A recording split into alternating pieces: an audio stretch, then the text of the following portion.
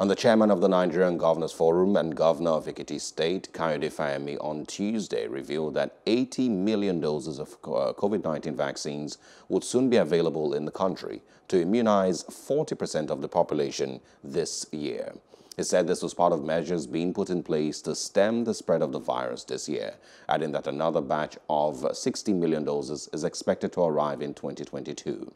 A statement by his chief press secretary, Olayinka Oyebode, in Ado-Ekiti said the governor made this known while delivering a paper titled The Role of Nigeria's State Governments in Recovery Responses to COVID-19 Linked Challenges during a program at Chatham House. Delivering the paper at the virtual conference held via Zoom, Governor Fayemi was quoted as saying that the quantity of the vaccines being expected was released by the National Primary Health Care Development Agency at the meeting of the National Economic Council last week. He, however, said that beyond government's procurement of vaccines, the NGF had remained a strong proponent of the use of public-private partnerships to procure the vaccines as a measure of closing the gap between what is available and what is necessary to achieve herd immunity.